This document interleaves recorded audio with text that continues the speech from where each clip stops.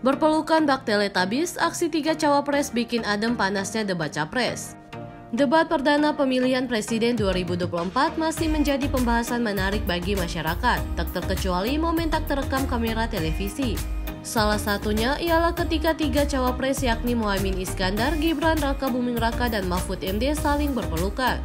Momen tersebut terjadi setelah debat perdana capres selesai berlangsung di kantor KPU Jakarta Pusat Selasa 12 Desember 2023. Praktisi komunikasi publik Ipang Wahid merekam momen hangat itu dan mengunggah videonya melalui akun Instagram.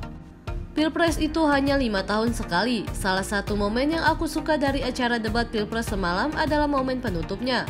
Indah sekali, mengingatkan kita semua bahwa urusan Pilpres ini hanya lima tahun sekali, tapi persahabatan kita semua justru yang abadi, kata Ipang melalui akun Instagram @ipangwahid dikutip Kamis 15 Desember 2023. Dalam video, terlihat Muhaimin dan Gibran asik bercengkrama bahkan cawapres nomor urut satu itu tak sungkan memeluk Gibran. Senyum mereka terlihat dari Muhaimin maupun Gibran. Kemudian terlihat Mahfud berjalan menghampiri keduanya. Gibran langsung menyalami Mahfud. Melihat itu, Mahfud otomatis merangkul Gibran hingga ketiganya saling berpelukan. Di kesempatan yang sama, terlihat para capres yakni Anies Baswedan, Prabowo Subianto, dan Ganjar Pranowo kompak bergandengan tangan di arena debat.